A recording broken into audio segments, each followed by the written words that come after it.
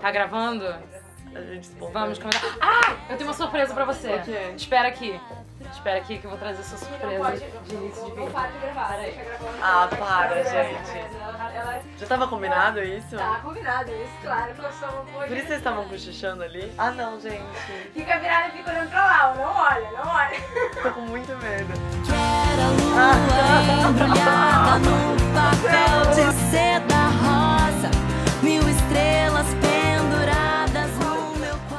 Gente, ela pediu tanto uma lua embrulhada em papel de seda rosa.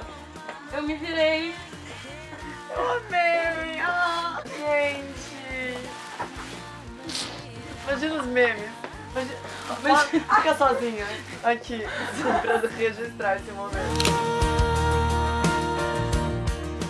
Gente, de tanto ouvir essa música, ela pedindo a lua embrulhada em papel de seda rosa, eu falei, cara, um dia tenho que dar. Ah, Ah. Feliz Natal! Obrigada. Amei, muito obrigada. Eu amei mesmo.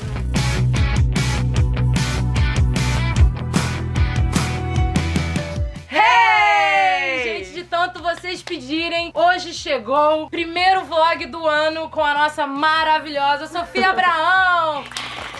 Gente, foi o mais pedido de, desde que o canal começou. O que mais pediram foi trazer a Sofia. Então, muito obrigada por ter vindo. Seja bem-vinda. Parabéns por todas as conquistas Obrigada. que tem rolado. Obrigada. CD, shows, semifinalista, dança dos famosos. Ela tá aqui toda sarada, gente. Ela chegou praticamente dançando dentro do estúdio. Ela tá Eu muito vou dançar pra vocês no final do vídeo. Nunca vi tão Vai fit, tão do- maravilhosa. Do tango.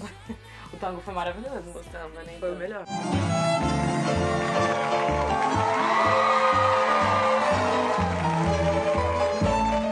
Por una cabeza.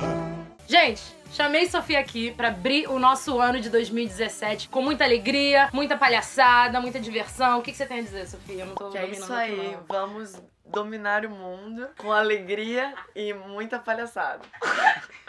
Ela acabou de acordar, tá, gente? Ela tá super sóbria, juro. Vai ser legal.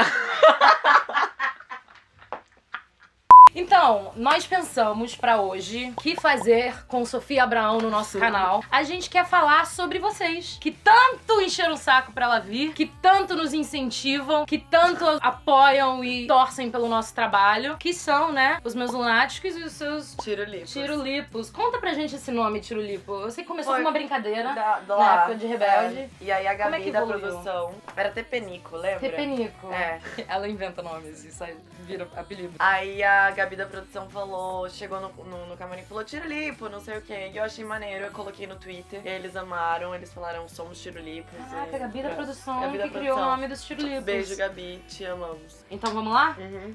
Go! Pra quem não sabe o que, que tá acontecendo e não acompanhou e chegou agora de paraquedas, eu trabalhei com Sofia no projeto Rebelde muitos anos atrás. Foi ao ar em 2011, 2011. 2012 na Record. A turnê terminou em 2013 porque tinha banda também, tinha show, tinha uma Tinha galera, tudo que tinha vocês uma. É. Posso imaginar. Sei que você percebeu que meu coração Nesse projeto, a gente viveu muitas coisas. Foi um momento muito intenso, né? O que, que Muito. você diria que é a melhor coisa que você guarda Cara, até eu tenho hoje? de muita tudo que a gente viveu? saudade. Eu tenho muita saudade daquela época. Faria. A gente podia fazer um remember. pergunta, você faria de novo? Eu faria, eu faria. Não, fa não dê essa ideia. Não, é que eu nem ia topar. Só eu e você. A gente fica sozinha, eu e ela. Roberto, oi, Alice. Rebelde. Chegou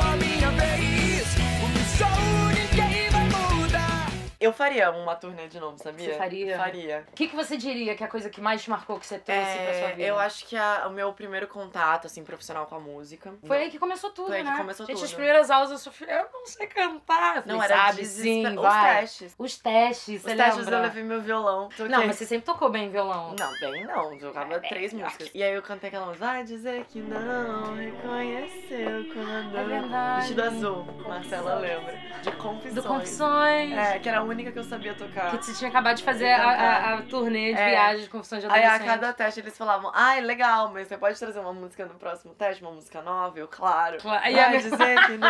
A gente fez um Malhação junto. Malhação. Eu participei da sua É. temporada. Eu lembro Fiz- que eu vi a Lua pela primeira vez, sentadinha no banquinho. Lembra do PA de Malhação? Falei, gente, essa mulher mais linda do planeta Terra. Sério. Aí o que, que eu te tava falei com que você que cabelo. você chegou e falou, o que, que você fez com seu cabelo? Eu falei, nada. Aí ela ficou puta. O que, que tá acontecendo? Eu juro, Juro, eu fiquei muito chocada com o seu cabelo. Falei, o que, que é isso? Uma força da natureza. O que, que você fez? Nada. Eu acordei assim. Eu lembro que eu tinha, eu nunca vou esquecer, eu tinha 50 mil seguidores quando eu entrei no Twitter. Eu tinha 100. Você tinha 100? 100, mil? 100 seguidores. Ah, tá. Eu, tipo, tipo, não Nossa, tinha nada, eu eu tinha acabado de começar. Gente, que pop no Twitter. Eu tinha 50 mil e saí de Rebelde com um milhão e meio. Muito bizarro, Foi né? muito bizarro. Foi muito que na bizarro. época o Instagram cri- começou a Não existir no meio É, do processo. E a gente, começou no Com Instagram. umas fotinhas. Você já viu É. suas fotinhas?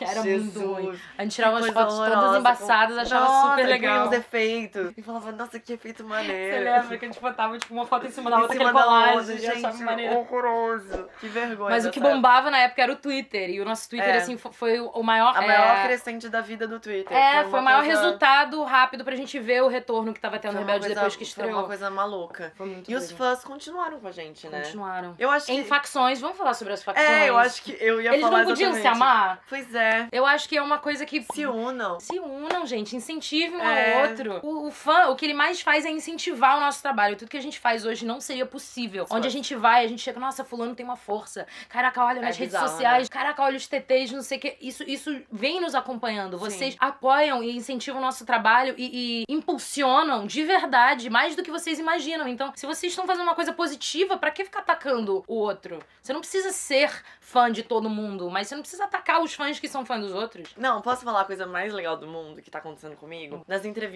é onde você falou que a, a gente chega, as pessoas falam da nossa força nas redes sociais. As pessoas falam assim, juro, é muito engraçado. Vem cá, Sofia, agora conta pra gente. E os tirolipos? Tipo, como se fosse uma coisa séria, Como vão? assim. E eu, não, vão muito bem. E, e como é que é na Tirolândia? gente. Eles acham que é tipo uma Disneylandia, É, né? isso virou real, Você cara. podia ter o seu parque, Tirolândia. Imagina! Mas a- além dos fãs incríveis que agora vão se amar porque a gente tá botando essa pilha e de tudo, enfim, que a gente tem de saudade, o que, que você acha que você levou do, do nosso trabalho durante a turnê agora pro seu trabalho musical? O que, que enriqueceu a sua carreira? Cara, pra mim tudo. Você tinha uma banda antes de Rebelde. Eu não tinha o menor contato profissional, de palco, de presença de palco. Agora eu tenho presença. Não, tô Você brincando. foi logo pra briga de gente grande, né? É, e... Foi assim, ah, seu primeiro show, vai, bah, Cara, 10 mil pessoas. Assustador, mas ao mesmo tempo a gente tem os fãs e isso faz total diferença. Você não tá cantando ali pra pessoas que não conhecem o repertório, pra pessoas que nunca Sim. te viram cantar. É- é outro antes. clima. Juro, é um clima muito à vontade dos meus shows. Eu fico muito tranquila. Não é aquele frio na barriga ruim. Ai, será que eu vou ser aprovada? Será que as pessoas vão gostar? É tipo, só diversão. Eu, É- eu é sinto a mesma coisa. É só diversão, é muito legal. Eu É. tô, tipo, ansiosa pro próximo show e eu fico. É diferente de cantar, tipo, num programa de televisão, né? Que, Que você tem que conquistar as pessoas, É, a maioria nem, nem é, sabe quem você sabe é, sabe que você tá exatamente. cantando. Eu também sinto a mesma coisa. Quando estreou meu show, você sabe, eu fiquei anos, né, planejando meu trabalho, o que, que eu ia gravar, o que, que não ia. Quando finalmente, depois de muito trabalho, o CD saiu, fui fazer meu primeiro show. Eu entrei nervosa quando eu vi todos os. Cantando Pô, tudo. todos os fãs que eu já reconheci, que já me acompanharam todos esses anos, que já construí relacionamento com todos eles, aquilo dá uma acalmada, parece que você tá na sala de casa. né? É, é Você outra, tá é outra. íntima já. Lua Blanco e os Lunáticos.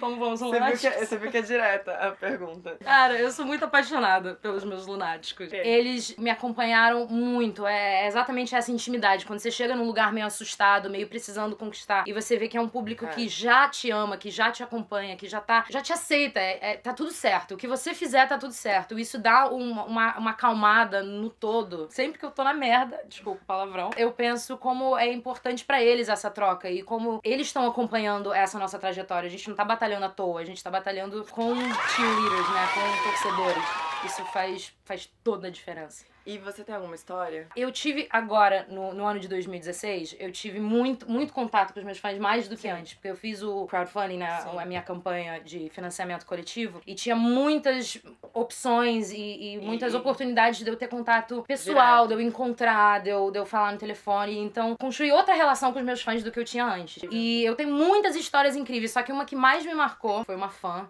que eu conheci pessoalmente, já conhecia de encontrar e já tinha uma relação, só que eu pude ter mais contato com ela por causa da campanha. E ela abriu pra mim a história dela e, e- e os problemas pessoais dela e que ela tinha problema de se cortar. E eu descobri, ao conversar com ela e depois dar uma, uma perguntada em volta, que automutilação é uma coisa muito comum entre, entre jovens e adolescentes. E isso me assustou porque eu não sabia que era tão comum e tão frequente. E ela me contou que ela tinha esse problema e contou que vários outros amigos dela também era, era uma coisa que se fazia. E eu, eu fiquei super preocupada. E na conversa ela falou: Ah, mas por causa de você eu parei. Parei. E eu. Fiquei muito feliz, primeiro, por ela ter parado, e segundo, por eu ter, de alguma forma, de eu poder Ajudar. ajudar, né? Sim. Eu nem eu perguntei pra ela, mas o que que eu fiz? Ela falou: "Você tava aqui, você tava em cartaz, eu pude te ver, você tinha um clipe saindo, você tinha isso, você tinha aquilo". E, e, e- de alguma forma essa conexão comigo e com o meu trabalho deu, deu uma certa força, deu um estímulo. Eu não sei Pra em que lugar dessa, é, sim. e isso me mostra que a gente tem uma missão muito maior, Sim. né, do que só entreter e só Sim, ai, sim. foto no Instagram. Na verdade, a gente tá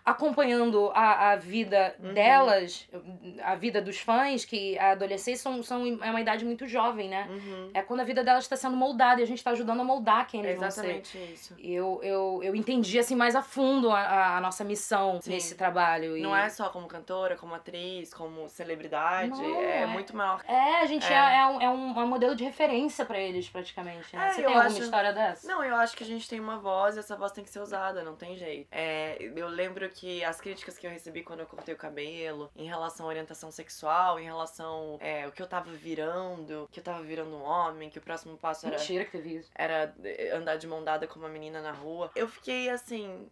Assustada. O louco não é não é esse tipo de crítica. O, o louco é, e se eu fosse, se eu quisesse Uhum. sair de mão dada, e se eu quisesse virar um homem? E É. aí, sabe, muito louco isso. E aí eu comecei a falar sobre isso. Eu comecei a falar do quão é importante a pessoa se aceitar, Uhum. independente do que ela pensa, do que ela é, do corte de cabelo que ela tem, do quanto eu vou aceitar os meus filhos, independente do que eles optarem pra vida deles, independente do gênero. da- Eu tenho um amigo agora que acabou de. de- ele tá nessa transição de, de troca de gênero. E é uma coisa Ah, difícil também. pra família, pra, pró- imagina pra própria pessoa. Então, eu acho que assim, como porta-voz, Uhum. como uma pessoa que tem essa voz na internet, é só essa simples é, noção de que você é normal, não tem nada de errado com você. É, se você se aceitar, acho que o mundo vai te ver diferente. Nossa, eu acho que ajudou muita gente. Muito. Assim, pelo menos eu recebi esse feedback da galera falando: caramba, nunca tinha pensado por esse lado, eu sempre me achei uma anomalia, eu sempre achei que eu tava errado. A, ma- a minha família me julga, me critica, meus amigos. E, cara, ter você falando que eu sou normal. Que bonito isso. É, é, mui- é muito especial pra mim, assim, eu fico muito feliz com, com essas respostas que eu... Outra coisa muito interessante, olha, eu tô lembrando de histórias. Vai, ótimo. Eu tô no terceiro livro, né? Uhum. Conta dos seus livros. É, Você lançou uma biografia, né? é agora é o terceiro. Mas é conta tudo? Você, você fala sobre rebeldes? Você Não, eu conto, eu conto, eu dou pinceladas. Pinceladas. Pinceladas, Quero porque muito as ver histórias são pesadas.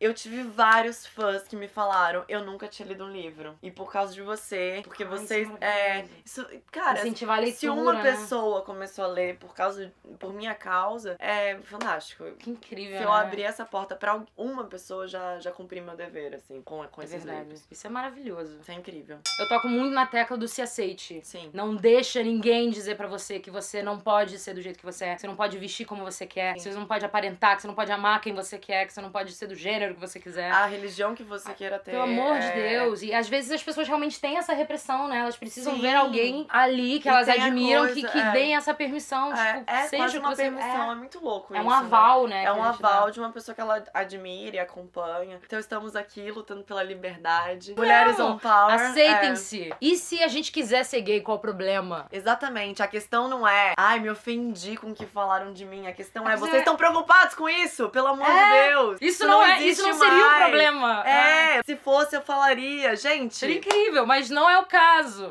eu, eu tenho um canal, não tão bombado quanto o seu. Eu pretendo reavivar ele agora. Vai me chamar Ó, pro promete. canal. Você vai no meu Vai, canal? Óbvio! Será um prazer. Quem quiser se inscrever no canal da Sofia, clica aqui. O link tá aqui, tá? Entrem, se inscrevam. Sofia, última coisa, antes da gente encerrar esse Uma vídeo. música. O ano está começando. Uma Uma dança. música. É, o ano tá, tá começando, Livro 2017. Qual a sua cor? Sofia, o ano tá começando agora, tudo pode acontecer. O Ah. que que você diria é o seu maior sonho pra esse ano? O que, que é Ah. uma meta que você quer atingir esse ano? Eu estrei com a turnê em 2016, Tudo Que Eu Sempre Quis, que é o nome de uma música, inclusive. E eu quero, 2017, sentar e planejar bonitinho a, tur- a turnê de 2017. Como eu te falei, quero pôr mais coreografia, repertório novo, músicas novas. Então, meu Isso. maior sonho é fazer estruturadinho. Será que lança um novo CD esse ano? Quem sabe? Um EP, É, alguma coisa? CD, CD, talvez mais não. alguma lua embrulhada por aí, não? Eu acho que CD, CD não, mas eu acho que EP. Vai ter coisa é, boa. É, com certeza. Estaremos esperando e um desejo para todos os nossos lunáticos e tirulipos. Amor, mais amor, por favor. Apoio, gente, muito amor. Vou dar esse desejo pra todo mundo também. Amor não só para com os outros, mas para você mesmo. Você tá muito Pra- erudita, Lua Blanc. Ela é formada em letras, É né? porque eu também leio. É. Tá vendo como é bom ler, gente? É Leio. muito bom. Sou muito obrigada por ter vindo. Você é sempre bem-vindo no canal. Vou para o seu canal também, teremos Obrigada. muitos vlogs. Gente, quem não se, Se inscreveu inscreva. ainda, se inscreva aqui no canal da Sofia. conteúdo. Ela vai dar muito conteúdo e vai dar mais um vídeo comigo. Ó, tá todo mundo pedindo. A gente podia fazer um jogo, né? Uma Tá todo mundo quer um vlog dos seis. Você acha que a gente consegue Acho que não. Fala. é porque eu digo que não. Eu digo que não. Mas eles não acreditam. Honestamente, Ouçam quando eu, eu, acho, digo eu que é acho que difícil. não, mas, é muito mas se vocês insistirem, a gente topa. Se inscrevam no canal da Sofia, ela vai ter mais conteúdo esse ano. Tem show, tem livro, o tem- que mais você quer divulgar? Tem a minha linha de perfume De verdade? Pode divulgar? e a minha linha de materiais. Sério? Sério? A minha linha de materiais escolares. Maravilhosos! Todo mundo vai estudar com material escolar É, maravilhoso. estamos em janeiro, é o momento. Maravilhoso. Comprem material escolar pra esse ano com o material de Sofia Você né? Ah, eu tenho presente pra você, peraí. Pode abrir. Ai. É um caderno da Ah. campanha. Mostra pra todo mundo. Tá em branco, depois eu dou uma dedicatória. Eu vou encerrar, inclusive, aqui, ó. Encerre aqui. Gente, pra quem ainda não assistiu meu clipe Eu e o Tempo que foi lançado no Natal, clica aqui nesse link pra você ver. Se inscreva aqui no meu canal. Tem o Bus Party, que é a nova diversão de 2017. Estamos lançando esse ano. Então clica nesse link pra você entender tudo e saber como você pode participar e como você pode comprar o seu ingresso e quando estaremos na sua cidade. Tem a turnê também Mão no Sonho, que vai continuar, se Deus quiser, com várias datas agora esse ano. E continue se inscrevendo e curtindo e comentando os vídeos e fazendo tudo que vocês podem fazer, porque esse canal é de vocês e a gente quer que bombe cada vez mais, tá bom? Obrigada, Sofia. Vamos dar um beijo. Todos... No final, Olha, Lu, olha, Lu. Vamos dar um beijo. Gente, obrigada por ter assistido o vídeo. Desculpa qualquer coisa. Até a próxima. Beijo!